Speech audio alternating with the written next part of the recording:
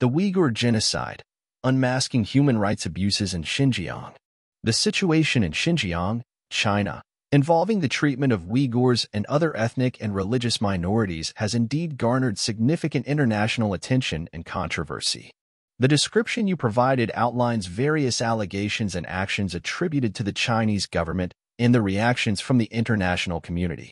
The allegations against the Chinese government include Allegations and actions Arbitrary detention. The Chinese government is accused of arbitrarily detaining over a million Uyghurs and other ethnic and religious minorities in internment camps. Detainees are held without legal process, often for extended periods. Forced labor. There are allegations of forced labor within Xinjiang, where detainees are subjected to harsh working conditions and are used in manufacturing products, including those destined for international markets. Suppression of religious practices. Reports indicate that religious practices, particularly within the Uyghur Muslim community, have been heavily suppressed. This includes the destruction and closure of mosques and religious schools. Political indoctrination. Detainees in these camps are said to undergo political indoctrination, where they are forced to renounce their cultural and religious beliefs and pledge loyalty to the Chinese Communist Party. Ill treatment. Numerous accounts have surfaced alleging that detainees face severe physical and psychological abuse, including torture, forced labor, and overcrowded conditions in the internment camps. Forced sterilization, contraception, and abortion. There are allegations of forced sterilizations, contraception, and abortions aimed at controlling the population growth of Uyghur and other minority groups. Decline in birth rates. Official Chinese government statistics have reported a significant decrease in birth rates in predominantly Uyghur regions, such as Hotan and Kashgar, as well as across Xinjiang. These declines have raised concerns about demographic shifts. Allegations of genocide. Some entities have used the term genocide to describe these actions, pointing to specific acts that may be in violation of the Genocide Convention. These acts include causing serious bodily or mental harm. Detainees allegedly endure severe physical and psychological abuse in the camps. Measures to prevent births. The alleged forced sterilization, contraception, and abortion are seen as measures to restrict the birth rates of Uyghurs and other minority groups. Chinese government denial.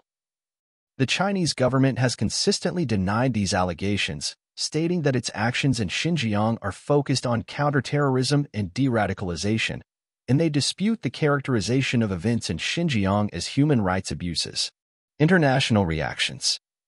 The international response to these allegations has varied. United Nations. The United Nations has expressed concerns about potential crimes against humanity in Xinjiang, but has not officially declared it as a genocide. United States. In January 2021, the U.S. government declared the situation a genocide. The U.S. State Department found that there is insufficient evidence to support this characterization but still holds that grave human rights abuses have occurred. Other countries, several countries, including Canada, the Netherlands, the United Kingdom, Lithuania, and France, have passed non-binding motions or resolutions describing China's actions as genocide or crimes against humanity. Others, such as New Zealand, Belgium, and the Czech Republic, have condemned the Chinese government's actions as severe human rights abuses. International Criminal Court ICC a case brought to the ICC was dismissed in 2020 on jurisdictional grounds, as China is not a party to the ICC statute. It's important to emphasize that this remains a highly complex and contentious issue with significant geopolitical implications. The situation may have evolved since my last knowledge update in January 2022, so staying informed through reliable news sources and international organizations is crucial for an up-to-date understanding of the situation in Xinjiang. The background of the Uyghur identity and the historical context of the Xinjiang region is complex and plays a significant role in the ongoing issues in the area.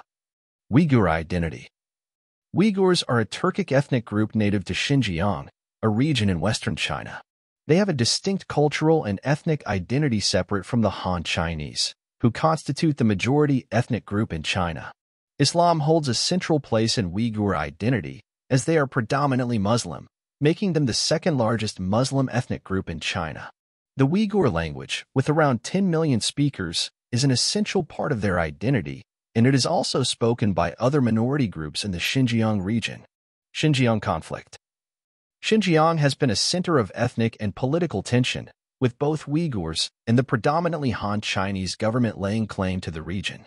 This has led to an ongoing ethnic conflict featuring resistance and sporadic violence, as Uyghurs have sought greater autonomy and recognition of their cultural and religious rights. Sinologists Anna Hayes and Michael Clark describe Xinjiang as a region undergoing a transformation by the Chinese government, aiming to integrate it fully into the unitary Chinese state. Historical context Historically, Xinjiang has seen various dynasties exerting control over parts of the region. During the 1700s, Xinjiang came under Chinese rule as a result of the westward expansion of the Manchu-led Qing dynasty. This expansion also resulted in the conquest of Tibet and Mongolia. Xinjiang was a peripheral part of the Qing Empire but briefly regained independence during the Dungan Revolt, 1862-1877. Following the Dungan Revolt, the Qing dynasty granted the Uyghur population permission to resettle in the former territories of Dzungaria. During the Republican era, 1912 to 1949, Xinjiang experienced periods of semi-autonomy. Various warlords and leaders, such as the Kumul Khanate, the Ma clique, and Jin Shuren, had control over different parts of the region.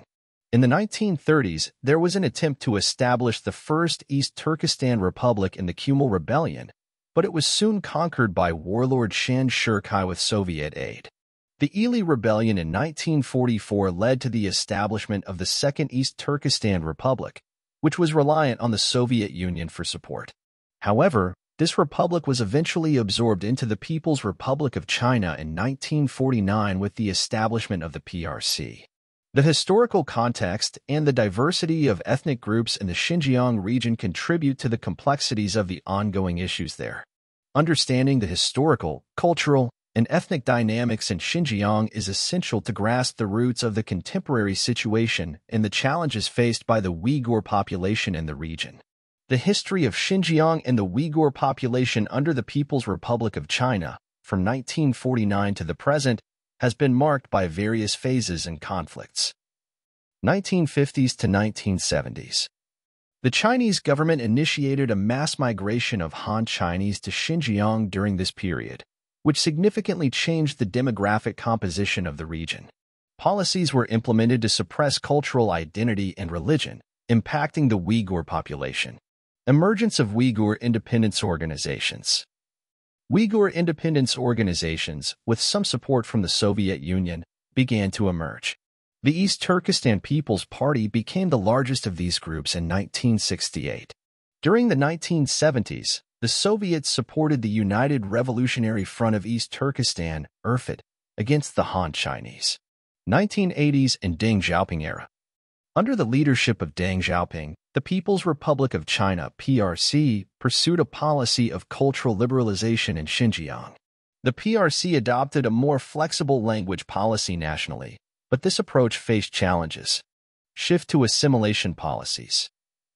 The Chinese government perceived the cultural liberalization policy as unsuccessful, and from the mid-1980s, it transitioned to a policy of minority assimilation, motivated by geopolitical concerns multilingualism and cultural pluralism were increasingly restricted, favoring a monolingual, monocultural model, which contributed to the strengthening of an oppositional Uyghur identity. Efforts to encourage economic development through resource exploitation led to ethnic tensions and discontent in Xinjiang. 1990s. In April 1990, a violent uprising in Baren, near Kashgar, was suppressed by the People's Liberation Army, PLA, resulting in numerous casualties. Attempts to reduce inequality between Han Chinese and ethnic minorities in Xinjiang were deemed unsuccessful in eliminating conflicts, partly due to the Chinese government's approach to ethnic relations.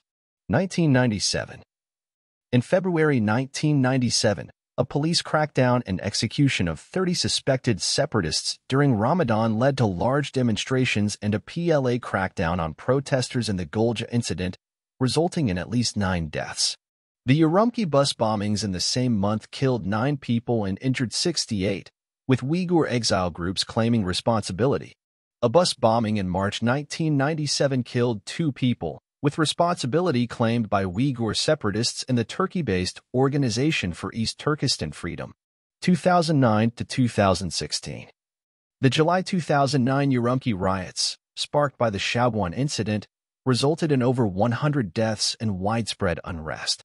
In the aftermath, there were coordinated attacks by Uyghur terrorists against Han Chinese in Xinjiang, with incidents like the Xinjiang unrest, September 2009, the Hotan attack, 2011, the Kunming attack, 2014, and multiple attacks in Urumqi, April and May 2014.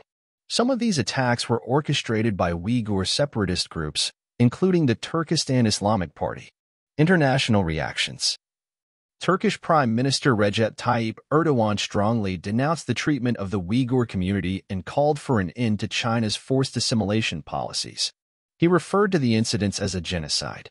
Erdogan's statements temporarily strained China's relations with Turkey. These historical events highlight the complex and contentious nature of the situation in Xinjiang, marked by cultural, ethnic, and political tensions between the Uyghurs and the Chinese government. The region has experienced periods of conflict and violence, with ongoing debates about the nature of the Chinese government's policies and their impact on the Uyghur population. The period from the mid-2000s to the present has witnessed significant shifts in the Chinese government's policies in Xinjiang, particularly with regard to stability maintenance, counterterrorism, and assimilation efforts. Here are key developments. 2008 Beijing Olympics in Weiwen, stability maintenance. In the lead-up to the 2008 Beijing Olympics, the Chinese government placed a heightened focus on Weiwen, or stability maintenance, leading to intensified repression across the country. Concerns were raised within the Communist Party about the potential consequences of excessive measures to combat perceived instability. Changes in leadership. In April 2010, Following the July 2009 Urumqi riots, Zhang Chunxian replaced Wang Lequan as the CCP secretary in Xinjiang. Wang Lequan had been known for his religious policies in Xinjiang for 14 years. Shift towards a monocultural society. In the aftermath of the 2009 Urumqi riots, there was a growing call within the Communist Party to create a more monocultural society with a single state race, a goal aimed at making China a new type of superpower. Policies to advance this goal began to be implemented by Zhang Chunxian. Intensification of repression under Xi Jinping. Xi Jinping, China's paramount leader, took a firm stance on combating terrorism and unrest in Xinjiang. Following an attack in Yunnan province, he advocated for uniting the people and building a copper and iron wall against terrorism. He emphasized a harsh approach and declared, we must be as harsh as them and show absolutely no mercy. In 2014, a secret meeting of Communist Party leadership was held in Beijing to address the issue. This led to the launch of the Strike Hard campaign against violent terrorism. The campaign, initiated in May 2014 in Xinjiang, was publicly announced and endorsed by Xi Jinping. He emphasized that the ruling strategy in Xinjiang was correct and should be maintained. Restrictions and separation of Uyghur families. In 2016, a brief window of opportunity allowed Uyghurs with passports to leave China. Many took advantage of this opportunity, leaving their relatives and children without passports behind. Some families have not been reunited. The People's War and Xinjiang was leadership. The Communist Party leadership in Xinjiang, following Beijing's guidance, launched a people's war against the three evil forces of separatism, terrorism, and extremism. This effort involved deploying a significant number of party cadres to Xinjiang and the launch of the Civil Servant Family Pair-Up program. In 2016, Chen Quanguo replaced Zhang Chunxian as the CCP secretary in Xinjiang. Under his leadership, tens of thousands of additional police officers were recruited, and society was categorized into three groups, trusted, average, and untrustworthy. Chen Quanguo emphasized taking a proactive and aggressive stance in implementing the crackdown. These policy changes and the intensification of government actions have played a central role in shaping the situation in Xinjiang and have been accompanied by reports of human rights abuses, including mass detentions, forced labor, and cultural assimilation efforts. The government's approach in Xinjiang has garnered international attention and raised concerns about human rights violations and the treatment of the Uyghur population. The period from 2017 onward has seen the implementation of various regulations and policies in Xinjiang, as well as the expansion of internment camps, leading to international concern and scrutiny. Chen was rally and crackdown. Following a meeting with Xi Jinping, Chen Quanguo organized a rally in Urumqi, where he addressed 10,000 troops, emphasizing an offensive against perceived threats. He declared a smashing, obliterating offensive and ordered mass arrests, stating that they would bury the corpses of terrorists and terror gangs in the vast sea of the People's War. Bans and Regulations April 1, 2017 New bans and regulations were implemented, targeting religious and cultural expressions of the Uyghur population.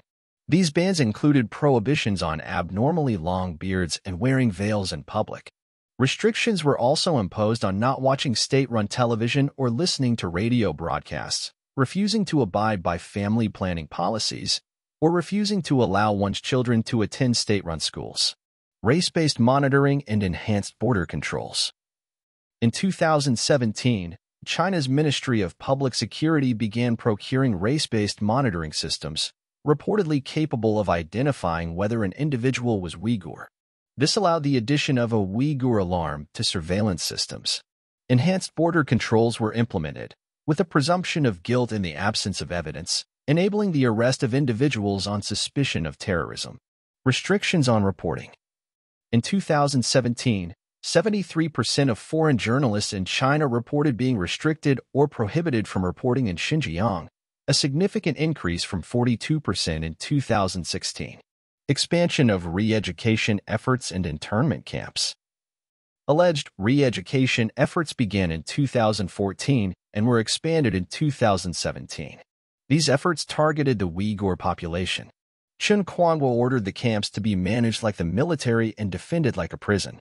Internment camps were constructed to house participants in the re-education programs, with most of them being Uyghurs.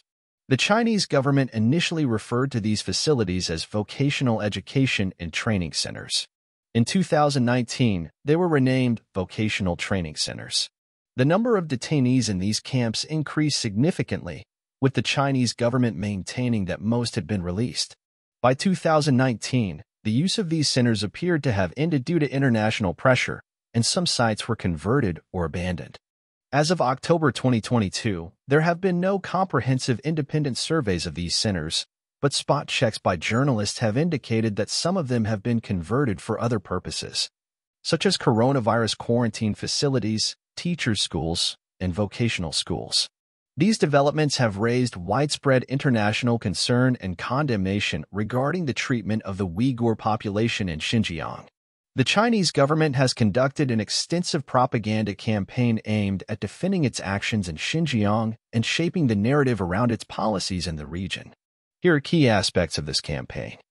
Denial and Cover-Up 2017 to 2018 Initially, China denied the existence of the Xinjiang internment camps and attempted to cover up their existence. In 2018, after widespread reporting forced China to admit the existence of the camps, the government initiated a campaign to portray the camps as humane and to deny human rights abuses in Xinjiang. Expansion of propaganda 2020 to 2021. In 2020 and 2021, the propaganda campaign expanded as international backlash against government policies in Xinjiang grew. The Chinese government appeared concerned that it was losing control of the narrative. Attacks on credibility and character. Chinese authorities responded to allegations of abuse by Uyghur women by launching attacks on their credibility and character. This included disclosing confidential medical data and personal information to undermine witnesses and their testimony. The goal of these attacks appeared to be silencing further criticism rather than refuting specific claims made by critics. Targeting international journalists. Chinese government propaganda campaigns have targeted international journalists who covered human rights abuses in Xinjiang. For example, BBC News reporter John Sudworth faced harassment and propaganda campaigns. The attacks led to Sudworth and his wife fleeing China for Taiwan due to concerns for their safety. Use of social media. China has used social media platforms as a part of its propaganda campaign. This includes purchasing Facebook advertisements to spread propaganda and incite doubt about the existence and scope of human rights violations in Xinjiang. Douyin, the mainland Chinese sister app to TikTok, presents users with Chinese state propaganda related to human rights abuses in Xinjiang. Promotion of propaganda videos. The Chinese government released propaganda videos titled Xinjiang is a Wonderful Land and a musical titled The Wings of Songs, which portrayed Xinjiang as harmonious and peaceful, devoid of repression, mass surveillance, and Islamic culture. These videos aim to present an idyllic image of the region while denying allegations of abuse influence campaign on Twitter and YouTube. In June 2021, ProPublica documented a Chinese government-backed propaganda campaign on Twitter and YouTube, which involved more than 5,000 videos showing Uyghurs in Xinjiang denying abuses and criticizing foreign officials and corporations. Some of the accounts associated with these videos were removed on YouTube as part of efforts to combat spam and influence operations. CCP-backed Uyghur influencers in October 2022, the Australian Strategic Policy Institute documented CCP-backed Uyghur influencers in Xinjiang posting propaganda videos on Chinese and Western social media platforms to push back against abuse allegations. Some of these influencer accounts were suspended on Twitter for alleged inauthenticity. The Chinese government's propaganda campaign has been extensive and multifaceted, aimed at shaping international perceptions of its actions in Xinjiang and countering allegations of human rights abuses. It has utilized both domestic and international social media platforms to influence public opinion and narrative surrounding Xinjiang. China has framed its policies in Xinjiang within the context of the global war on terror that emerged in the early 2000s. Here are key points regarding China's use of counterterrorism justification. Equating separatism with terrorism. China has used the rhetoric of the global war on terror to frame acts of separatist and ethnic unrest in Xinjiang as manifestations of Islamist terrorism. The Chinese government has portrayed its policies in Xinjiang as part of a broader anti-terrorism campaign to legitimize its actions. Islamophobia and fear of terrorism discourses. Scholars like Sean Roberts and David Tobin have argued that China has used Islamophobia and fear of terrorism as discourses to justify repressive policies against Uyghurs. They emphasize that violence against Uyghurs should be seen in the context of Chinese colonialism rather than solely as an anti-terrorism effort. Conflation of Uyghur nationalism with terrorism. Arienne Dwyer has noted that the U.S. war on terror provided China with an opportunity to conflate Uyghur nationalism with terrorism, particularly through state-run media. Dwyer argues that China has overstated the influence of fundamentalist forms of Islam within Xinjiang, such as Salafism, as it is tempered by Uyghur Sufism. Expulsion of journalist for questioning official line. In December 2015, China effectively expelled a French journalist, Ursula Gauthier, for questioning the official line equating ethnic violence in Xinjiang with global terrorism. Gautier faced an abusive and intimidating campaign by Chinese state media. UN criticism of broad definitions of terrorism. In August 2018, the United Nations Committee on the Elimination of Racial Discrimination criticized the broad definition of terrorism and vague references to extremism used in Chinese legislation. The committee noted that many reports suggested the detention of Uyghurs and other Muslim minorities on the pretext of countering terrorism. Misuse of counterterrorism pretext. In 2019, multiple sources, including the Wall Street Journal, Sam Brownback, and Nathan Sales, criticized the Chinese government for consistently misusing counterterrorism as a pretext for cultural suppression and human rights abuses in Xinjiang sentencing of officials on terrorism and extremism charges. In 2021, Shirzad and Sattar Sawut, former officials in Xinjiang, were sentenced to death with a two-year reprieve on terrorism and extremism charges. Three other educators and two textbook editors received lesser sentences. China's use of the counterterrorism justification has been a contentious issue, with critics arguing that it is used to justify repressive policies and human rights abuses in Xinjiang. The international community has expressed concerns about the broad definitions of terrorism and extremism that have been used in Chinese legislation and their impact on ethnic minorities in the region. The destruction and restrictions imposed on mosques, Muslim shrines, and cemeteries in Xinjiang have been a significant aspect of the Chinese government's policies in the region. Here are key points related to these issues. Destruction of mosques. Systematic destruction of mosques in Xinjiang has been reported, with an estimated 16,000 mosques having been destroyed or damaged. Minarets have been knocked down, and decorative features have been removed or painted over.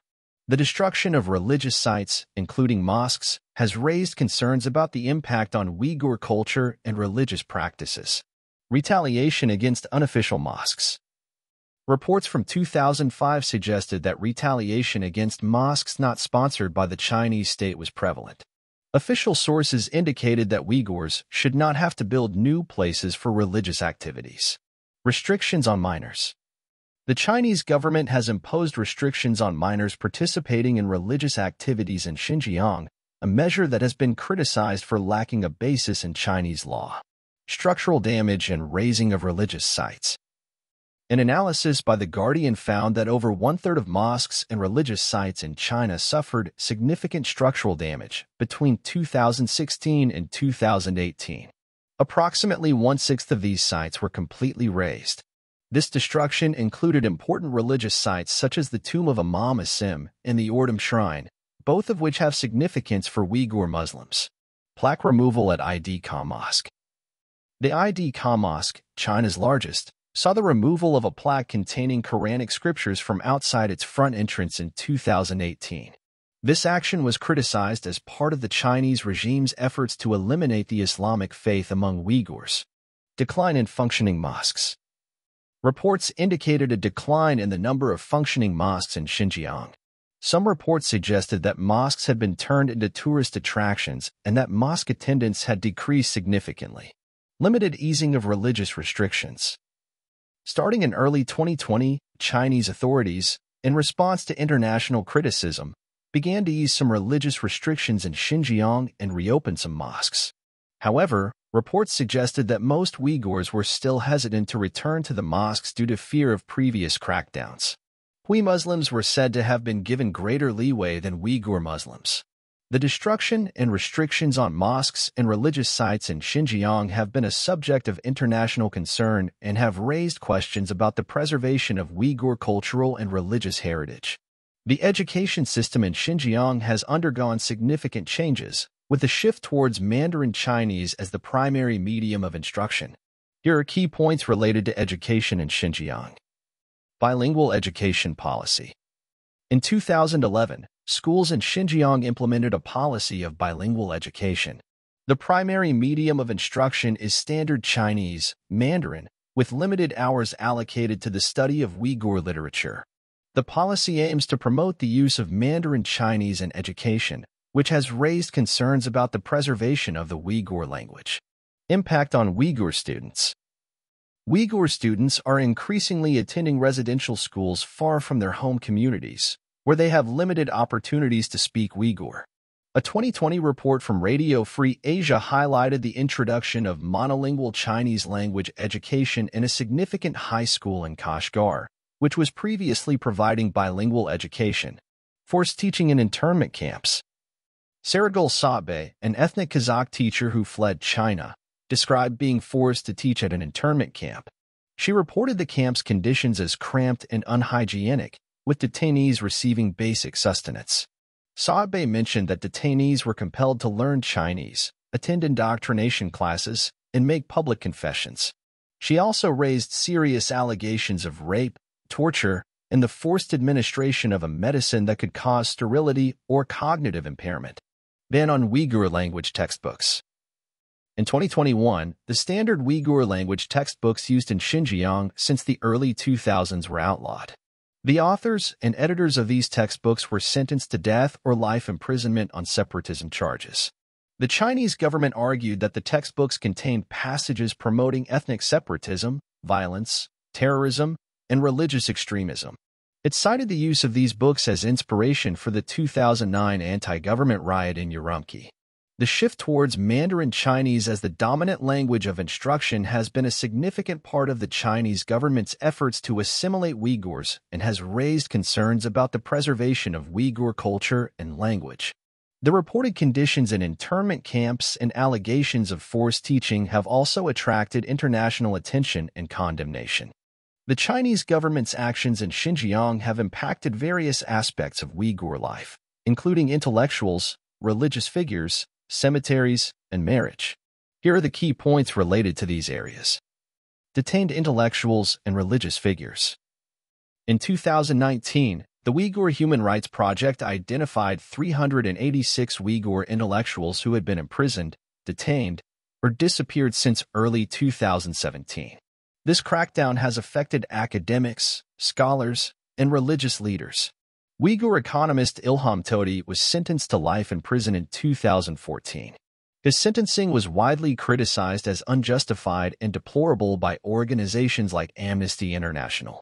Prominent Uyghur anthropologist Rahile Dawut, known for her work in preserving Islamic shrines, traditional songs, and folklore, disappeared. Uyghur Imam Abdulbar Ahmed, previously lauded as a five-star imam, was sentenced to over five years in prison in 2018 for taking his son to a religious school not sanctioned by the state. Destruction of cemeteries. Reports from Agence France Presse, AFP in September 2019 and CNN in January 2020 documented the destruction of numerous Uyghur cemeteries in Xinjiang. Satellite imagery showed the ongoing campaign, and some exposed human bones were observed in certain sites. The Chinese government claimed that the destruction of cemeteries was due to relocations and lack of maintenance. However, these actions were linked to efforts to control Uyghurs and exert influence over their culture. Notable cemeteries, including the Sultanim Cemetery in Hotan, were demolished, with claims that graves were relocated. Marriage and social engineering. The Chinese government has encouraged intermarriage between Uyghurs and Han Chinese, offering various incentives to mixed couples. These incentives include cash rewards, preferential treatment in employment and housing, and free education for the couples and their families. The promotion of intermarriage is seen by the authorities as a way to enhance ethnic unity and fusion.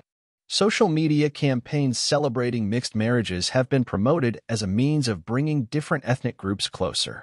Such policies have raised concerns that they aim to diminish Uyghur ethnic identity and culture by assimilating Uyghurs into Han-dominated relationships. The Chinese government's actions in these areas are part of its broader efforts to control, assimilate, and exert influence over the Uyghur population in Xinjiang. Clothing restrictions. Chinese authorities discourage Uyghur women from wearing headscarves, veils, and other customary Islamic attire. On May 20, 2014, a protest erupted in Alaqagha, Kuqa, Aksu Prefecture, when 25 women and schoolgirls were detained for wearing headscarves. This led to a clash with the police, resulting in casualties. There have been incidents where the wearing of traditional clothing has led to detention and arrest, as revealed in documents leaked from Xinjiang's internment camps. These restrictions are part of the broader campaign to control Uyghur culture and religious expression. Children's names. In 2015, a list of banned names for children, known as the Naming Rules for Ethnic Minorities, was introduced in Hotan. The list prohibited names with strong religious connotations, including Islam, Quran, Mecca, Jihad, Imam, Saddam, Hajj, and Medina. This naming restriction was subsequently extended to cover the entire Xinjiang region. Legislation in 2017 made it illegal to give children names that the Chinese government considered to exaggerate religious fervor, further emphasizing the restrictions on religious expressions and names. This included a ban on naming children Muhammad. These measures reflect the Chinese government's efforts to exert control over Uyghur culture, religious practices, and even names as part of its campaign to suppress religious identity and promote assimilation. Human rights abuses in Xinjiang. Internment camps. Since 2016, the Chinese government has operated a network of internment camps as part of its strategy to govern Xinjiang. These camps are used to detain ethnic minorities en masse, primarily targeting Uyghurs. The mass detentions peaked in 2018 but have since shifted towards forced labor programs. Mass detentions, reports and estimates on the number of detainees vary, with figures ranging from around 1 million to 1.8 million Uyghurs and other Muslim minorities held in these camps. These estimates are based on research, investigations, and evidence provided by various sources, including scholars, activists, and international organizations. Coercive measures. Inside the internment camps, detainees are subjected to coercive measures, including forced labor, ideological indoctrination, and harsh living conditions. Reports suggest that conditions inside the camps are dire, with allegations of abuse, violence, and malnutrition. Deaths. There have been numerous reports of deaths occurring inside the camps due to inadequate living conditions, malnutrition, and violence. These reports have raised concerns about the well-being and safety of detainees. Human rights violations. The internment camps have drawn widespread condemnation from the international community for their violations of human rights, including arbitrary detention, forced labor, and restrictions on religious and cultural practices. Some have even likened these actions to a form of cultural genocide. The Chinese government has faced significant criticism and allegations of human rights abuses in Xinjiang, leading to increased scrutiny and calls for accountability from the international community. Torture and coercive measures. Reports from various sources, including former detainees, exiled individuals, and rights groups have indicated that Uyghurs in Xinjiang have been subjected to torture and other forms of abuse by Chinese authorities. These reports include the following details. A former Chinese police detective in Europe revealed details of systematic torture of Uyghurs in detention camps in Xinjiang, including his own participation in such acts. Mihrigul Tursun, a Uyghur detainee, described her experiences at the camps, including being drugged, subjected to intrusive medical examinations, and strapped in a chair to receive electric shocks. She alleged that interrogators told her that being a Uyghur is a crime. Kayrat Samarkand, another former detainee, described being forced to wear an iron clothes suit that weighed over 50 pounds, restricting his movements and causing severe discomfort. Reports have suggested that torture methods such as waterboarding have been used as part of the indoctrination process compulsory sterilizations and contraception. There have been reports of forced sterilizations in the administration of birth control measures to Uyghur women in Xinjiang. These reports include the following details. In 2019, reports of forced sterilization began to surface. Some Uyghur women claimed that they were forcibly sterilized by tubal ligation while in detention. In 2020, interviews with former detainees indicated that women were forced to take birth control pills or were injected with fluids that caused them to stop having periods. It was suggested that hormonal medication, such as Depo-Provera, was used for this purpose. In April 2021, exiled Uyghur Dr. Goljin reported that forced sterilizations of Uyghurs, especially women, had been ongoing since the 1980s. She described a sharp increase in sterilizations after 2014, aiming to ensure that Uyghurs would remain a minority in the region. These reports and allegations of torture, coercive measures, and forced sterilizations have raised significant concerns and have been condemned by the international community. Brainwashing and indoctrination. Reports and leaked documents have shed light on the extent of brainwashing and indoctrination efforts within the Xinjiang detention camps. These efforts are aimed at erasing Uyghur identity, instilling loyalty to the Chinese Communist Party, and suppressing religious beliefs. Here are some examples and details. Former detainee Kayrat Samarkand described his camp routine, which included detainees being forced to sing songs praising Chinese leader Xi Jinping before being allowed to eat. Detainees were also required to memorize a list of what Samarkand referred to as 126 lies about religion, emphasizing that religion is considered negative and belief in the Communist Party is encouraged. Leaked documents advise that students, particularly children, should be told that their missing parents have not committed crimes but have been infected by unhealthy thoughts. This suggests an effort to suppress independent thinking and instill loyalty to the party. It has been reported that children of detainees are often sent to state-run orphanages where they are subjected to brainwashing, forced to forget their ethnic roots, and immersed in Han Chinese culture under policies such as the Xinjiang Classrooms policy. In some cases, Individuals like Gulbahar Haitiwaji reported being coerced into denouncing their own family members, demonstrating the extent of psychological pressure and indoctrination.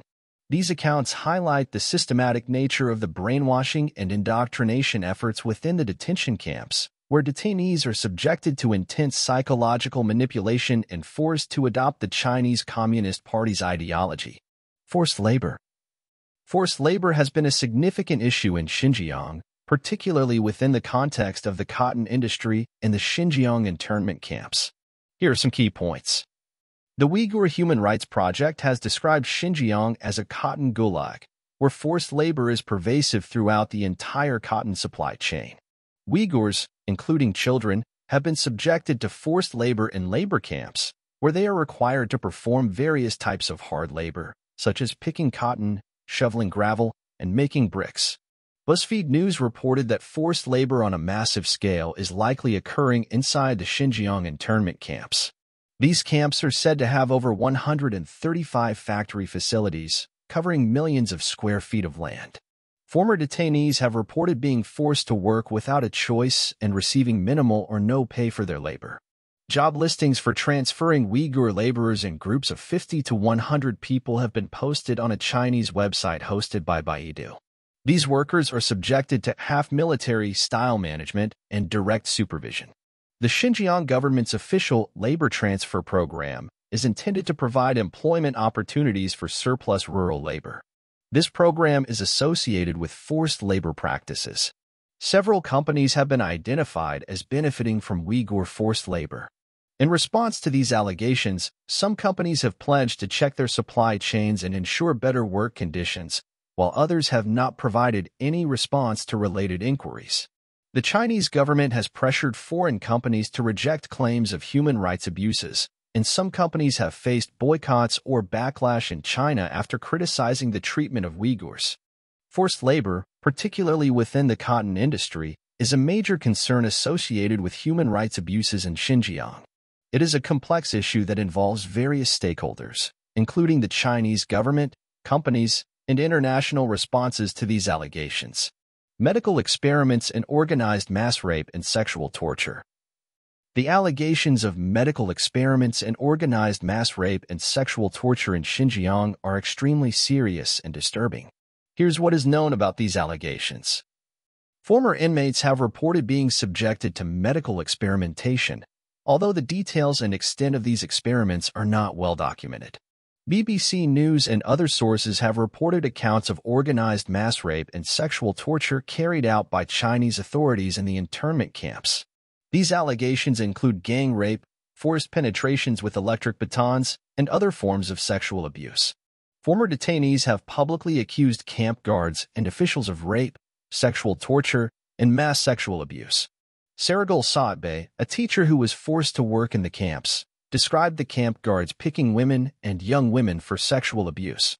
Tursunay Ziawudun, another former detainee, reported that women were taken from their cells every night to be raped by Chinese men in masks, and she personally experienced gang rape during her detention. Qelbinur Sidik, an Uzbek woman from Xinjiang, stated that Chinese police sexually abused detainees during electric shock tortures. The Chinese government has consistently denied all allegations of human rights abuses within the internment camps. In addition, Reuters reported that Chinese officials disclosed the personal medical information of women witnesses in an attempt to discredit them. A BBC report in February 2021 detailed the systemic sexual abuse taking place within the camps, alleging that it was part of a broader rape culture involving both police and outsiders. These allegations have raised significant international concern and outrage. Investigations and fact-finding missions are ongoing to gather more evidence and assess the extent of these abuses. IUDs and birth control.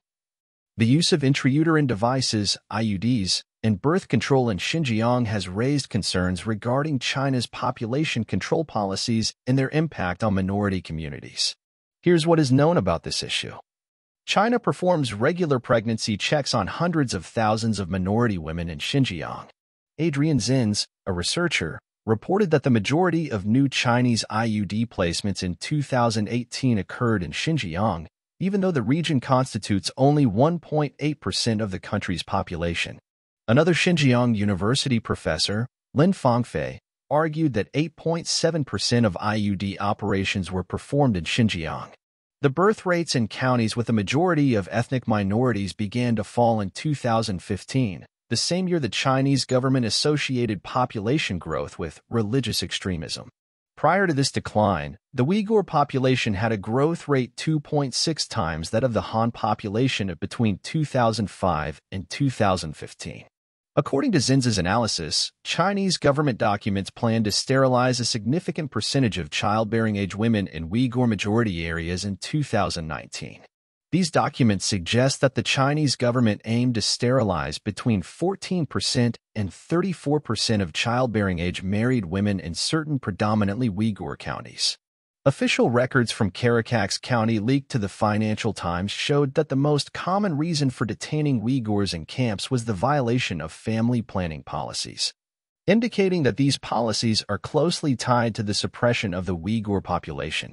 An Associated Press investigation in 2020 revealed that forced birth control in Xinjiang was far more widespread and systematic than previously known, with authorities forcing IUD insertions, sterilizations, and abortions on hundreds of thousands of Uyghur and other minority women. The Chinese government has stated that the decline in birth rates is due to the comprehensive implementation of family planning policies, but authorities do not acknowledge genocide or forced sterilization. Chinese officials argue that such policies empower Uyghur women.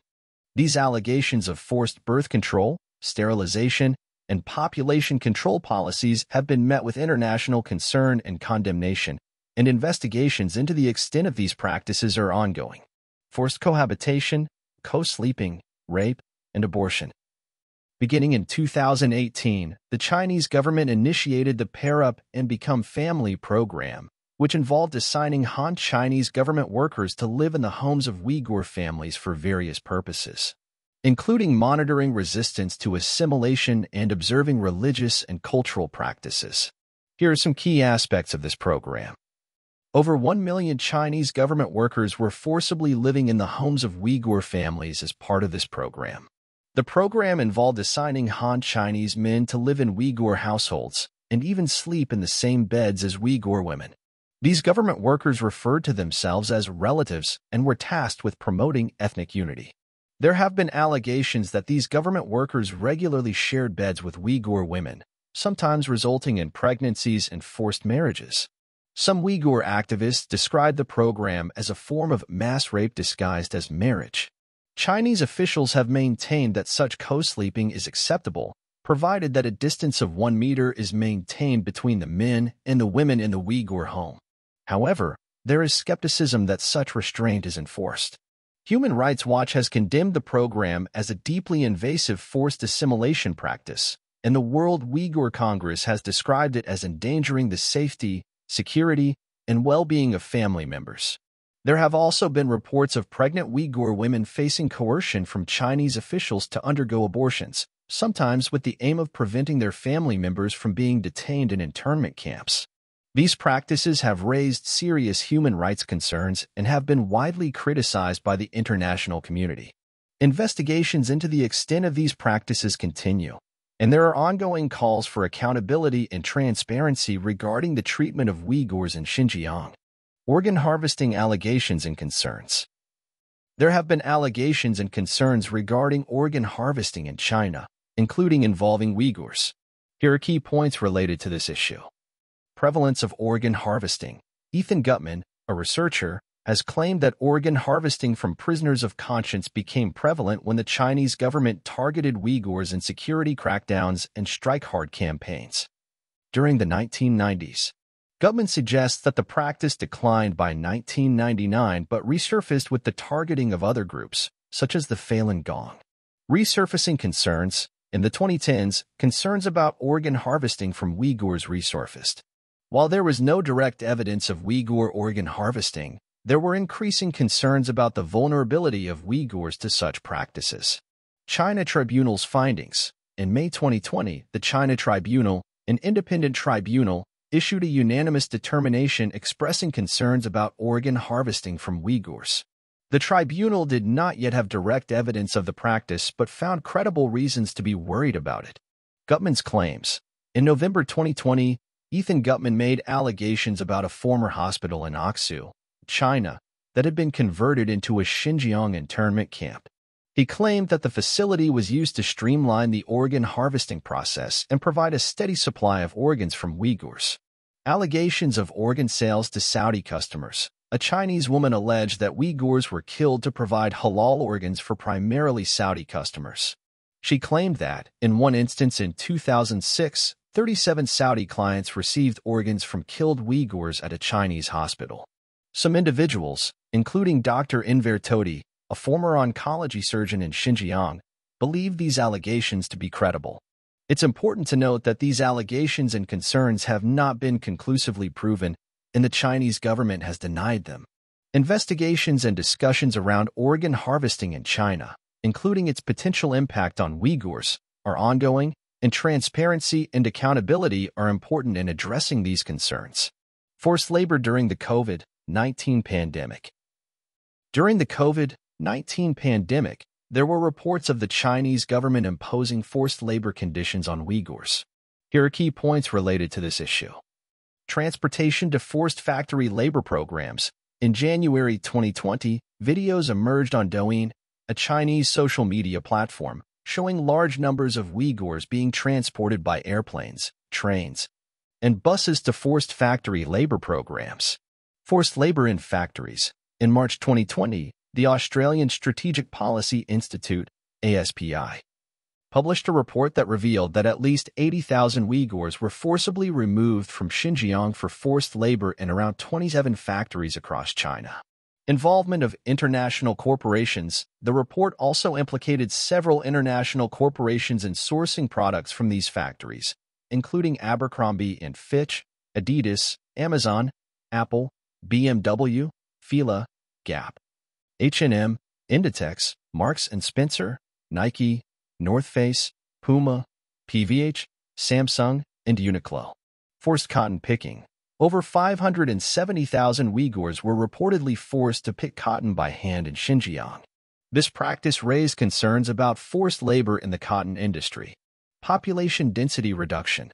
Reports suggested that the Chinese forced labor system was designed to reduce Uyghur population density, raising concerns about the potential broader demographic and human rights implications of such policies. By 2021, more than 600,000 Uyghurs had been relocated to industrial workplaces as part of forced labor programs. These allegations have sparked international concern and calls for accountability. It is important to note that these allegations have been a subject of debate and concern, with international organizations and governments seeking transparency and accountability regarding forced labor practices in China. Actions outside of China involving Uyghurs. China has faced accusations of coordinating efforts to exert pressure on Uyghurs living overseas to return to China. These efforts often involve using family members in China to apply pressure on members of the diaspora. Chinese officials have denied these allegations, dismissing them as fabrications. China's extensive surveillance system also extends overseas, with a specific focus on monitoring the Uyghur diaspora. Reports have indicated that China's efforts to monitor Uyghurs abroad include aggressive cyber espionage targeting journalists, dissidents, and individuals deemed disloyal to Beijing. In March 2021, Facebook reported that hackers based in China were conducting cyber espionage against members of the Uyghur diaspora. Uyghurs living in various countries, including the United Arab Emirates, Egypt, and Saudi Arabia, have been detained and deported back to China, resulting in family separations. Rights activists have expressed concerns that, despite Western nations taking China to task over its treatment of Uyghurs, countries in the Middle East and beyond might increasingly cooperate with China's efforts to crack down on Uyghurs both domestically and abroad. According to a joint report from the Uyghur Human Rights Project and the Oxus Society for Central Asian Affairs, there have been 1,546 documented cases of Uyghurs being detained and deported at the request of Chinese authorities in 28 countries from 1997 to March 2021.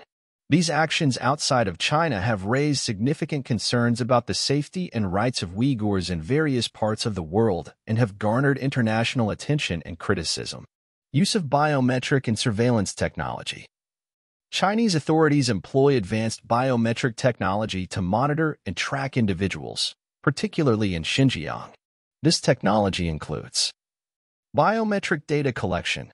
Chinese authorities have been reported to collect biometric data from Uyghurs, including drawing blood, scanning faces, recording fingerprints, and documenting voices. This extensive biometric data collection is used to track and monitor individuals. Genetic material collection. China has been accused of collecting genetic material from millions of Uyghurs, which raises concerns about the use of DNA data for surveillance and identification. Facial recognition technology.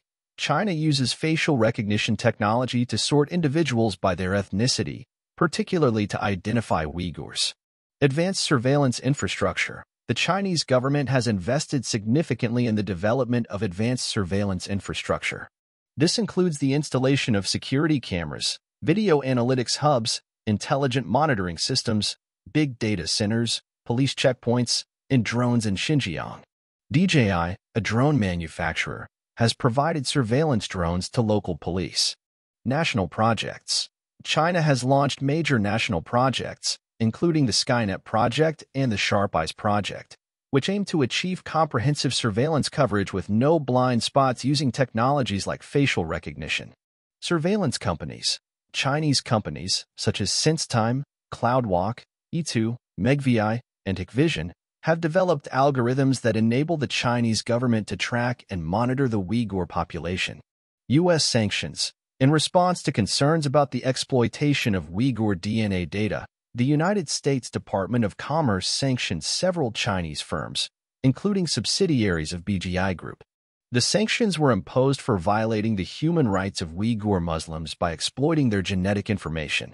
These developments in biometric and surveillance technology raise significant human rights and privacy concerns, as they are used to monitor and control the Uyghur population in Xinjiang.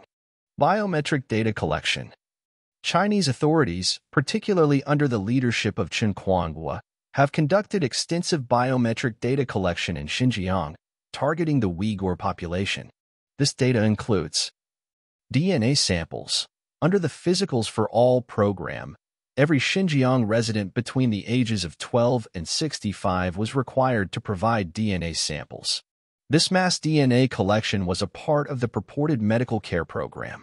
Additional data, along with DNA samples, data on various biometric identifiers, including blood types, fingerprints, voice prints, and iris patterns, were collected. Blood samples, in some areas, officials collected hundreds of blood samples for the purpose of biometric identification. Forensic DNA Lab A forensic DNA lab, supervised by the Institute of Forensic Science of China, was established in Tumxuk. This lab used specialized software, including that from Thermo Fisher Scientific, to analyze DNA samples. Thermo Fisher response in response to concerns regarding the use of its technology for genetic analysis in Xinjiang, Thermo Fisher Scientific declared that it would cease sales to the Xinjiang region. GPS tracking of cars. Chinese authorities have mandated the installation of GPS tracking devices in vehicles in the northwest region of China, including Xinjiang. This measure is justified as a security precaution against Islamist extremists and separatists. It is intended to monitor and track all vehicles in the region, citing the threat of international terrorism and the use of vehicles for illicit activities. These initiatives highlight the extensive data collection and surveillance measures that have been implemented in Xinjiang, raising significant privacy and human rights concerns. The actions of the Chinese government in Xinjiang have been described and labeled in various ways by different individuals and organizations. These include genocide. Many experts, scholars, and human rights advocates particularly after the release of the Xinjiang Papers and China Cables, have referred to the situation in Xinjiang as genocide. This term implies the deliberate and systematic destruction of a racial, ethnic, religious, or national group. It is considered one of the most serious international crimes under the United Nations Genocide Convention. Cultural genocide. The term cultural genocide has been used to describe the Chinese government's policies in Xinjiang. This refers to actions aimed at erasing the cultural identity, heritage, and practices of a specific group. It may involve the suppression of language, religion, customs, and traditions. Ethnocide. Ethnocide is another term used to describe the situation in Xinjiang. It is often used interchangeably with cultural genocide and refers to actions aimed at the destruction or suppression of the culture, identity, and way of life of a particular ethnic group. Crimes against humanity. Some have characterized China's actions in Xinjiang as crimes against humanity. This term encompasses a wide range of acts, including murder, enslavement, torture, and persecution when committed as part of a widespread or systematic attack against a civilian population. Settler colonialism. Settler colonialism refers to the colonization and occupation of a territory, often involving the displacement and replacement of the indigenous population with settlers. While not as commonly used in the context of Xinjiang, some have raised comparisons with settler colonialism due to the state-led migration of Han Chinese into the region. These labels reflect the severity and complexity of the situation in Xinjiang and are the subject of ongoing international debate and legal scrutiny. Different individuals, organizations, and governments may use these terms based on their perspectives and assessments of the situation. The situation in Xinjiang has increasingly been labeled as genocide by various experts, scholars, politicians, and international organizations. The use of the term genocide reflects the gravity and severity of the human rights abuses being reported in the region. Here's a summary of the progression of the use of the term. Early descriptions as genocide 2019 and before the first use of the term genocide in connection with China's treatment of Uyghurs and other ethnic minorities in Xinjiang can be traced back to experts, scholars, and human rights activists who began expressing their concerns as early as 2019. At that time, they pointed to alarming trends, such as mass arrests of Uyghur intellectuals and academics, as indicative of a genocidal intent. Growing use of the term 2020 as more information and reports emerged, including evidence of mass forced sterilizations, forced abortions, and other severe human rights abuses, more scholars, commentators, and lawyers began to describe the situation in Xinjiang as genocide. The evidence for this characterization was seen as increasingly substantial and alarming. Criteria of the Genocide Convention. Some experts noted that the actions of the Chinese government met at least one of the five criteria outlined in the United Nations Genocide Convention. This included actions related to the suppression of birth rates as a means to reduce the Uyghur population. International actions and declarations 2020 to 2021 several countries, governmental bodies, and international organizations took significant steps to officially recognize China's actions in Xinjiang as genocide. The U.S. led the way by officially designating it as such, followed by Canada and the Dutch Parliament. This official designation carried significant legal and moral weight. Legal Reports and Expert Opinions 2021 Legal Reports and Expert Opinions reinforced the characterization of the situation as genocide. These reports highlighted prolific credible evidence of sterilization procedures, mass deaths, and other genocidal conduct.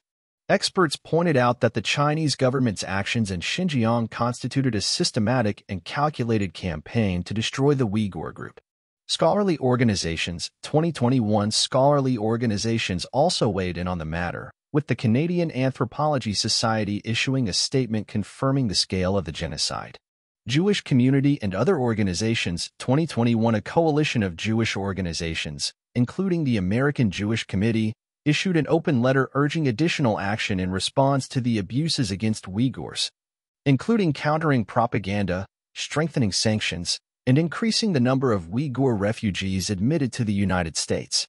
This reflected a growing consensus among various groups. The labeling of China's actions in Xinjiang as genocide has gained momentum, with increasing numbers of experts, governments, and organizations recognizing the gravity of the situation and the need for international attention and action. It remains a subject of intense debate, scrutiny, and concern worldwide.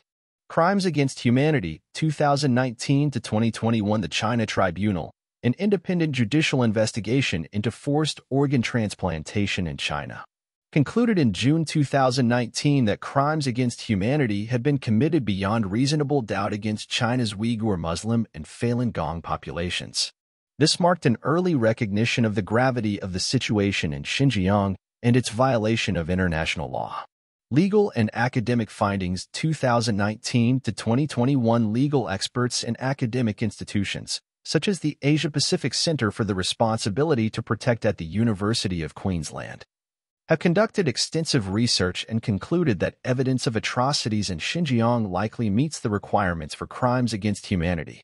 These include persecution, imprisonment, enforced disappearance, torture, forced sterilization, and enslavement. Some legal assessments argued that genocidal acts, particularly measures to prevent births and forcible transfers, had occurred in Xinjiang. U.S. Office of the Legal Advisor, 2021 and 2021, the U.S. Office of the Legal Advisor concluded that the situation in Xinjiang amounted to crimes against humanity, although it found insufficient evidence to prove genocide. This assessment reflects the ongoing debate and legal scrutiny regarding the situation in Xinjiang. Settler colonialism, ongoing some academics and researchers have characterized the abuses in Xinjiang as part of an ongoing project of Han settler colonialism. This perspective frames the actions in Xinjiang as part of a broader historical and contemporary context, emphasizing the colonization and displacement of indigenous populations. These various classifications, including crimes against humanity and settler colonialism, provide different lenses through which to understand and address the complex and multifaceted situation in Xinjiang. They reflect ongoing efforts to categorize and respond to the human rights abuses taking place there. Reactions by supranational organizations. In July 2019, 22 countries jointly condemned China's human rights abuses in Xinjiang in a letter addressed to the United Nations Human Rights Council, UNHRC.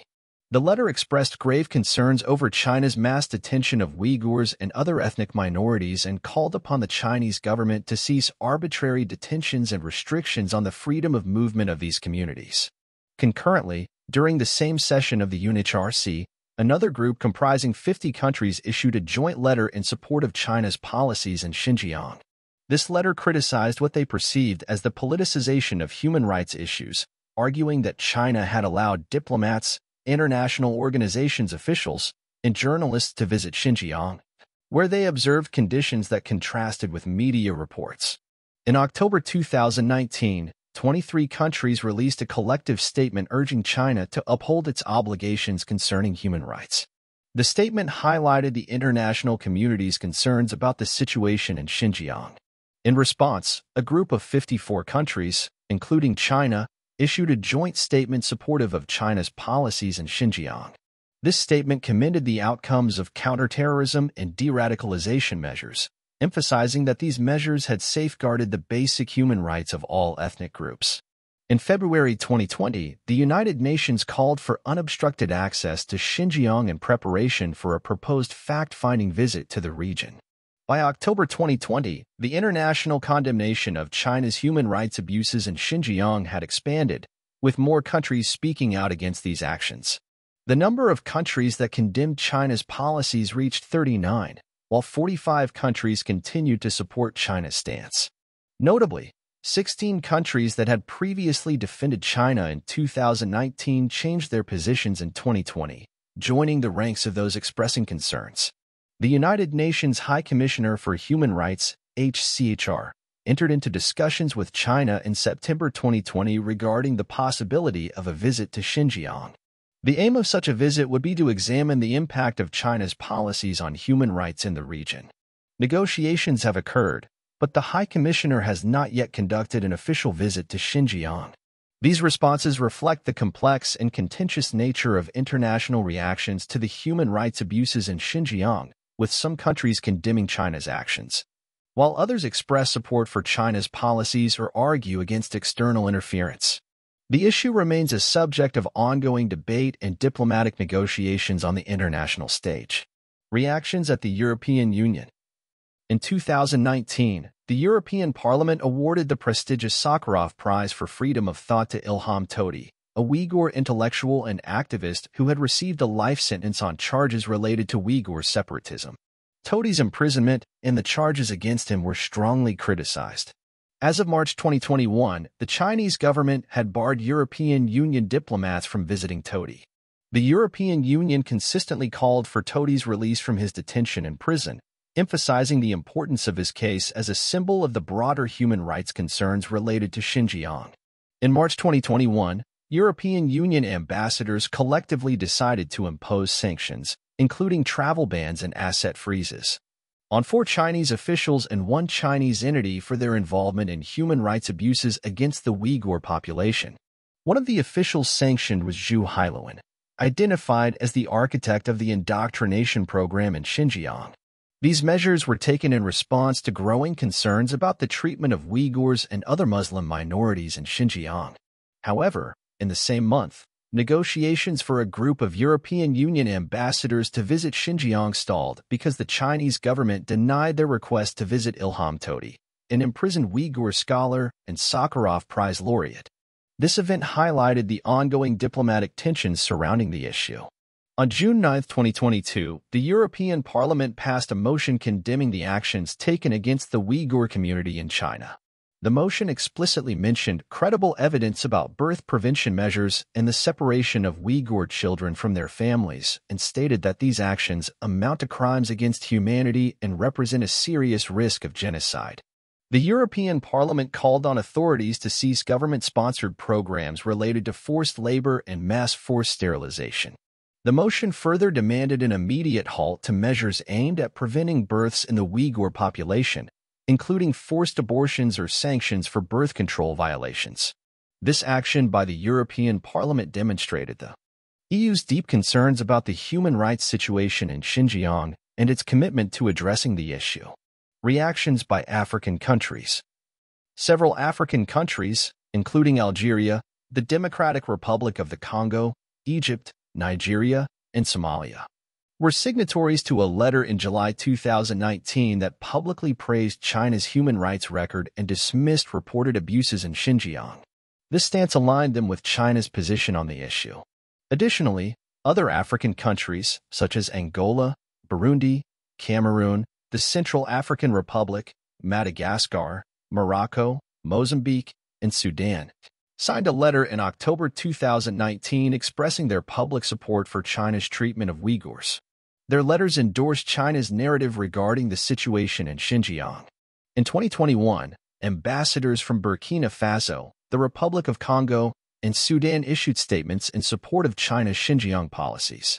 Burkina Faso's ambassador claimed that Western allegations of forced labor and genocide were groundless, while Sudan's ambassador argued that the Xinjiang issue was not primarily about human rights but rather a political tool employed by Western countries against China. These statements highlighted the differing views among African nations regarding the situation in Xinjiang and their relationships with China. Canada. In July 2020, The Globe and Mail reported that human rights activists, including retired politician Irwin Cotler, were urging the Parliament of Canada to recognize the abuses against Uyghurs in China as genocide and to impose sanctions on the officials responsible. This call for action reflected growing international concern regarding the treatment of Uyghurs in Xinjiang. On October 21, 2020, the Subcommittee on International Human Rights, SDR, of the Canadian House of Commons Standing Committee on Foreign Affairs and International Development passed a resolution condemning the persecution of Uyghurs and other Turkic Muslims in Xinjiang by the government of China. The subcommittee concluded that the actions of the Chinese Communist Party amounted to the genocide of the Uyghurs, as defined by the Genocide Convention. This formal recognition of genocide by a Canadian parliamentary body was a significant development. On February 22, 2021, the Canadian House of Commons voted 266 to 0 to pass a motion that officially recognized China as committing genocide against its Muslim minorities. Notably, Prime Minister Justin Trudeau and his cabinet did not vote on this motion. In response, China's ambassador to Canada dismissed the allegations of genocide and forced labor as the lie of the century.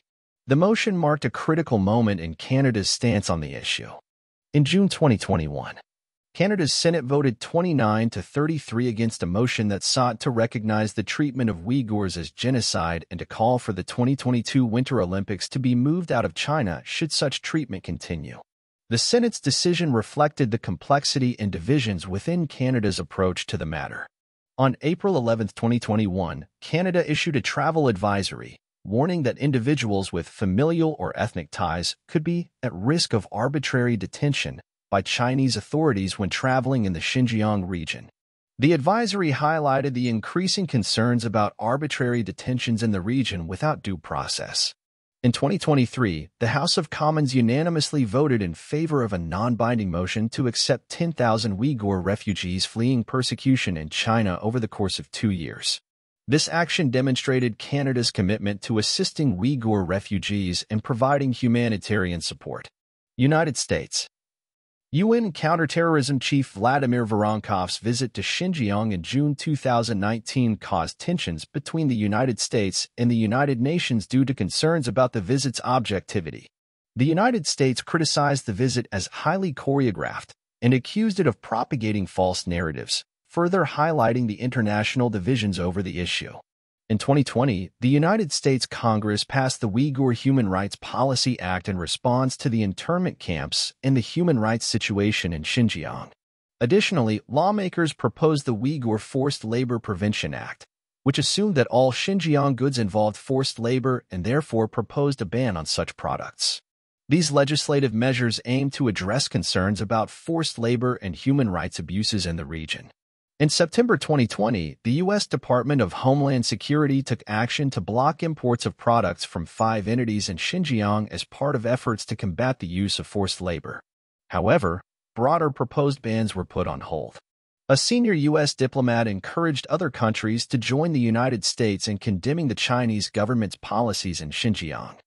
In January 2021, then Secretary of State Mike Pompeo announced that the United States Department of State had determined that genocide and crimes against humanity had been committed by China against the Uyghurs and other ethnic and religious minority groups. This announcement drew historical parallels with other genocides and crimes against humanity, demonstrating the seriousness of the situation.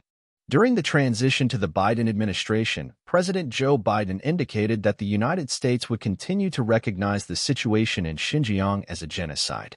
He also promised repercussions for China due to its human rights violations. Some interpretations of his statements suggested cultural relativism, while others saw them as a misrepresentation of his stance on the issue. In July 2021, U.S. Secretary of Defense Lloyd Austin remarked on genocide and crimes against humanity against Uyghur Muslims in Xinjiang. While speaking at the Singaporean branch of the International Institute for Strategic Studies, further highlighting the United States' commitment to addressing the crisis.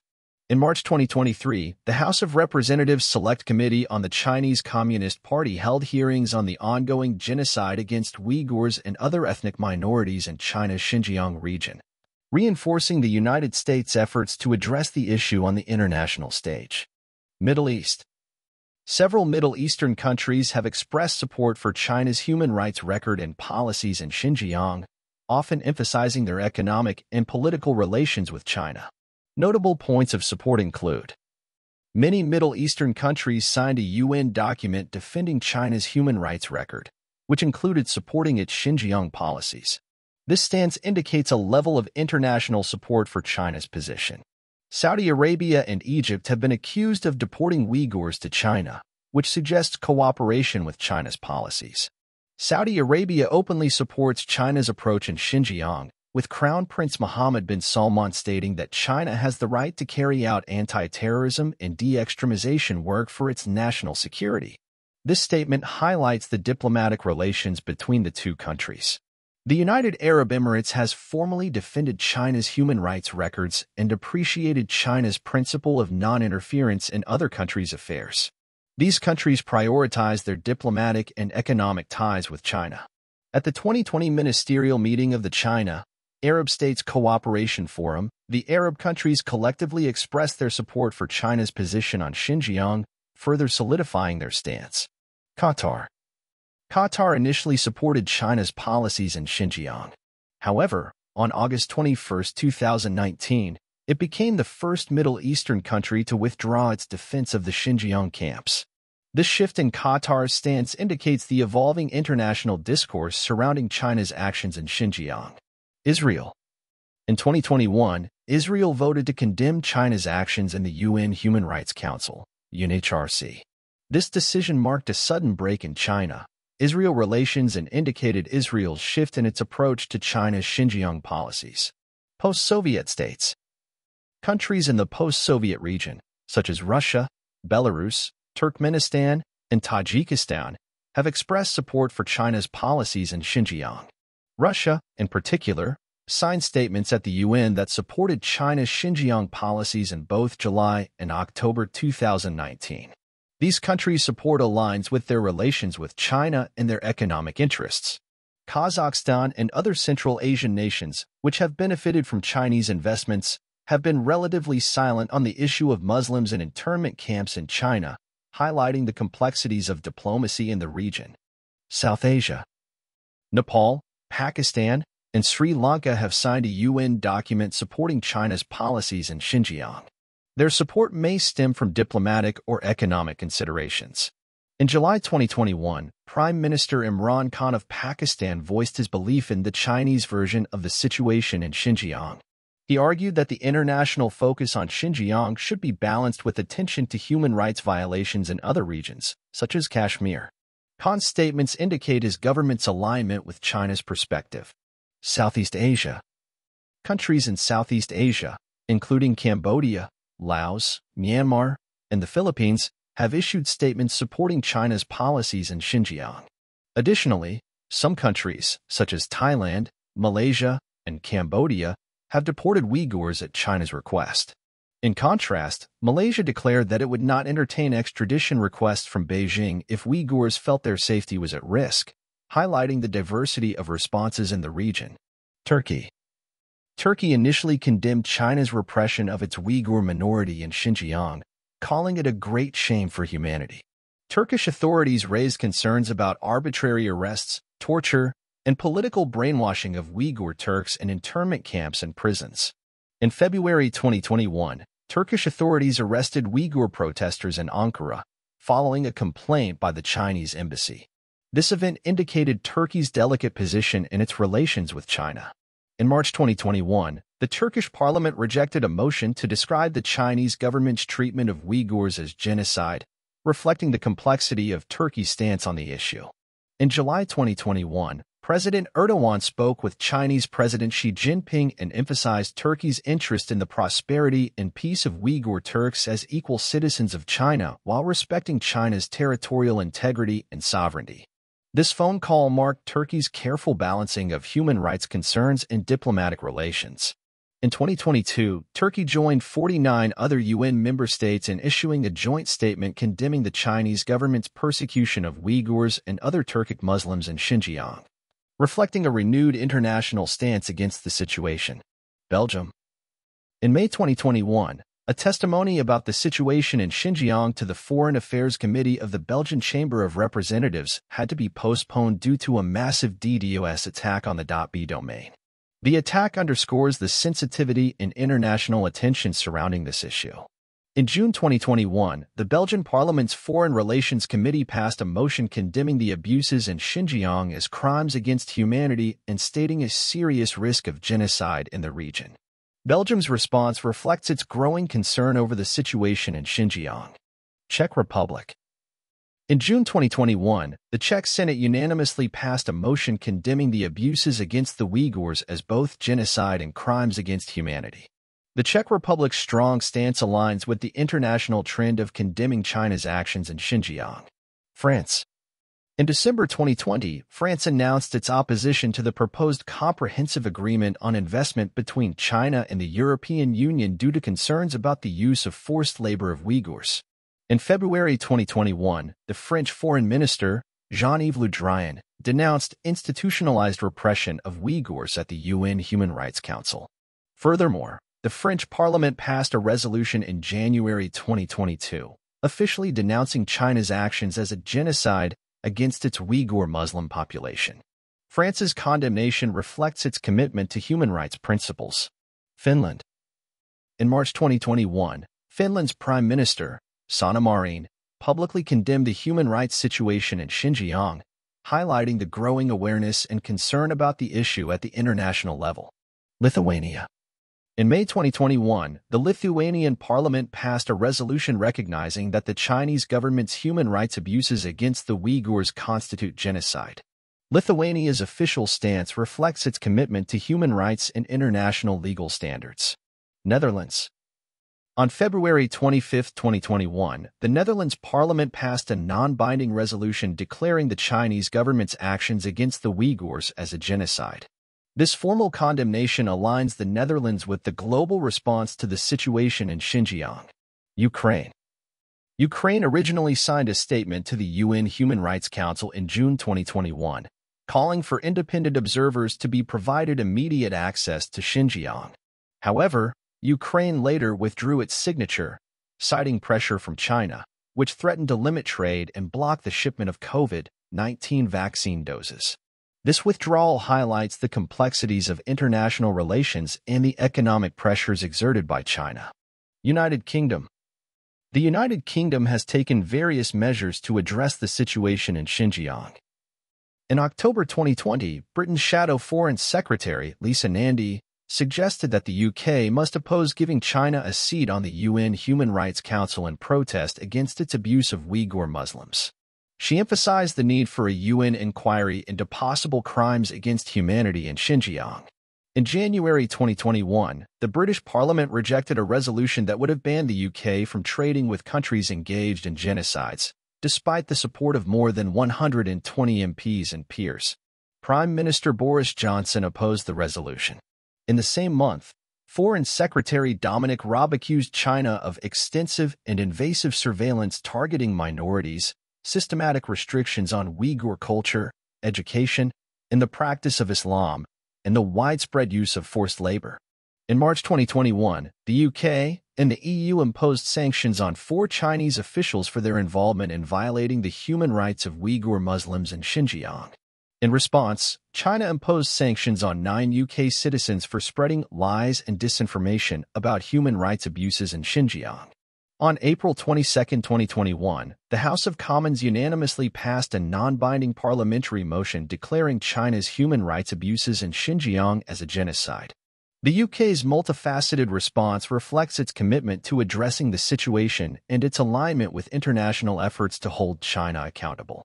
Australia Australia has expressed concerns about the situation in Xinjiang and has taken steps to address it. In September 2019, Australian Foreign Minister Marise Payne stated that Australia had consistently raised concerns about reports of mass detentions of Uyghurs and other Muslim peoples in Xinjiang. The country called for China to cease the arbitrary detention of Uyghurs and other Muslim groups, both in bilateral discussions and in relevant international meetings. However, in March 2021, the Australian federal government blocked a motion by Rex Patrick to officially recognize China's treatment of the Uyghurs as a genocide. This indicates Australia's ongoing engagement with the issue and its efforts to address human rights abuses in Xinjiang. New Zealand New Zealand has also engaged with the Xinjiang issue. In 2018, New Zealand Prime Minister Jacinda Ardern raised concerns about Xinjiang during her visit to China, particularly during discussions with Guangdong Party Secretary Leader Li Xi. This showed New Zealand's willingness to address human rights issues in its diplomatic relations. Ardern further discussed Xinjiang privately with Chinese President Xi Jinping in 2019 following the Christchurch mosque shootings. The New York Times accused New Zealand of being cautious on this issue due to economic ties with China, as New Zealand exports various products to China, including milk, meat, and wine. On May 5, 2021, the New Zealand Parliament adopted a motion declaring that severe human rights abuses were occurring against the Uyghur people in Xinjiang. An earlier version of the motion had accused the Chinese government of committing genocide against the Uyghurs, but the ruling Labour Party opposed including the term genocide. The adopted motion, however, criticizes severe human rights abuses. This signifies New Zealand's efforts to address the human rights concerns related to Xinjiang while considering its economic relationships. Non-governmental organizations and research institutions have played a significant role in raising awareness about the situation in Xinjiang and providing their perspectives on the matter. East Turkestan Government in Exile In January 2020, President Ghulam Osman Yaghma of the East Turkestan government in exile expressed concern about the ongoing oppression of Uyghurs and called on the international community, including world governments, to recognize China's actions in Xinjiang as a genocide. Uyghur American Association, this organization expressed concerns about the deportation of Uyghur refugees from Cambodia to China in 2009. They have also referred to Beijing's approach to counterterrorism in Xinjiang as state terrorism. United States Holocaust Memorial Museum. The museum has issued statements characterizing the conditions in Xinjiang as crimes against humanity. They have described China's campaign against the Uyghurs as multifaceted and systematic, involving mass detention, forced labor, discriminatory laws, and high-tech surveillance. Amnesty International. As of July 2020, Amnesty International had not officially characterized the Chinese government's treatment of Uyghurs as genocide. However, in June 2021, Amnesty released a report stating that China's treatment of Uyghurs constituted crimes against humanity. Genocide Watch Genocide Watch issued a genocide emergency alert in November 2020, considering the forced sterilizations and forcible transfer of Uyghur and other Turkic minority children in Xinjiang as acts of genocide. Open letter by activist groups. In September 2020, nearly two dozen activist groups, including the Uyghur Human Rights Project, Genocide Watch, and the European Center for the Responsibility to Protect, signed an open letter urging the United Nations Human Rights Council, UNHRC, to investigate whether crimes against humanity or genocide were taking place in Xinjiang. New Lines Institute for Strategy and Policy in March 2021. This think tank at the Fairfax University of America released a report stating that the People's Republic of China bore state responsibility for committing genocide against the Uyghurs, citing evidence of comprehensive state policy and practice. They concluded that the Chinese government was in breach of the 1948 Convention on the Prevention and Punishment of the Crime of Genocide. Human Rights Watch. In April 2021, Human Rights Watch released a report outlining that the Chinese government had committed crimes against humanity against the Turkic Muslim population in Xinjiang. While they had not documented the existence of genocidal intent at the time, they noted that nothing in the report precluded such a finding. If evidence of genocidal intent were to emerge, it could support a finding of genocide. These organizations and reports have contributed to international discussions and efforts to address human rights abuses in Xinjiang. The Uyghur Tribunal is a people's tribunal established in the United Kingdom with the aim of examining evidence related to China's treatment of Uyghurs and determining whether it constitutes genocide under the Genocide Convention. The tribunal began conducting hearings in June 2021 and was chaired by Geoffrey Nice, who previously served as the lead prosecutor in the trial of Slobodan Milosevic. After months of hearings and reviewing extensive evidence, on December 9, 2021, the Uyghur Tribunal reached a conclusion. The tribunal found that China had committed genocide against the Uyghurs, specifically through birth control and sterilization measures. They also identified evidence of other serious crimes, including crimes against humanity, torture, and sexual abuse. It is important to note that the tribunal's final determination does not have legal authority to compel governments to take specific actions. However, it serves as an important step in the ongoing international discourse on the situation in Xinjiang and the treatment of the Uyghur population. The findings of the tribunal have contributed to the growing body of evidence and calls for action to address human rights abuses in the region. Multinational corporations have faced increased scrutiny and public pressure in response to human rights concerns related to their business operations in Xinjiang. The proposed Uyghur Forced Labor Prevention Act in the United States aimed to impose sanctions on foreign persons knowingly engaging in forced labor practices and required firms to disclose their dealings with Xinjiang. In response, the president of the American Apparel and Footwear Association expressed concerns that blanket import bans on Xinjiang cotton or products could disrupt legitimate supply chains. As Xinjiang cotton is often mixed with cotton from other regions, and there is no efficient origin tracing technology for cotton fibers. Furthermore, some major companies with supply chain ties to Xinjiang, including Apple, Nike, and Coca-Cola, have lobbied Congress to weaken the legislation and amend its provisions, drawing criticism from human rights advocates. In February 2021, 12 Japanese companies established a policy to discontinue business deals with certain Chinese firms linked to or benefiting from forced labor of Uyghurs in Xinjiang. Notably, both Nike and Adidas have criticized human rights abuses in Xinjiang and pledged not to do business in the region, which led to a decline in their sales in China. Additionally, a report in December 2022 revealed that nearly every global automaker had ties to Uyghur forced labor, prompting the United Auto Workers to call for all automakers to sever supply chain links to Xinjiang. Multinational corporations continue to navigate complex ethical and economic considerations related to their operations in Xinjiang. Religious groups, including prominent figures and organizations, have raised concerns and taken actions related to the treatment of Uyghurs in Xinjiang. In July 2020, Marie van der Zyl, the president of the Board of Deputies of British Jews, drew parallels between the mass detention of Uyghur Muslims in concentration camps during the Holocaust. She continued to raise awareness of the issue, urging the Chinese government to step back from committing atrocities, especially on International Holocaust Remembrance Day in January 2021. In December 2020, Chief Rabbi Ephraim Mirvis of the United Hebrew Congregations of the Commonwealth condemned the persecution of the Uyghurs and called for international action to address the unfathomable mass atrocity occurring in China. While Chief Rabbi Mirvis typically refrains from commenting on non-Jewish political issues, he, along with a broader Jewish protest movement, was motivated by memories of the Holocaust and a desire to prevent a recurrence of such horrors.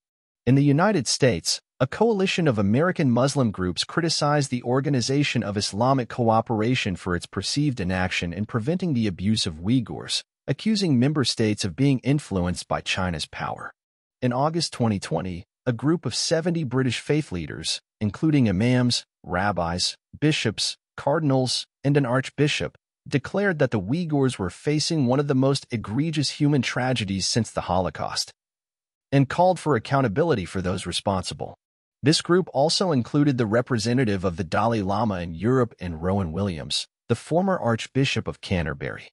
In March 2021, a group of 16 rabbis and a cantor from California's Jewish religious spectrum sent a letter to Representative Ted Lieu, urging him to take action in support of the Uyghurs.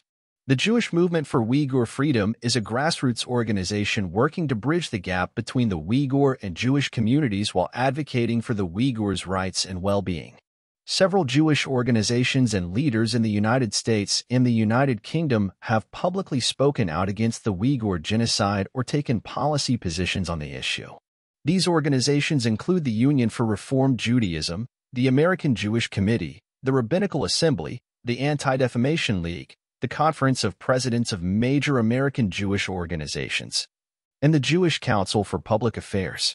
In 2021, several Jewish organizations in the United Kingdom incorporated the situation in Xinjiang into their Holocaust Memorial Day remembrances and commemorations, emphasizing the importance of remembering and speaking out against atrocities.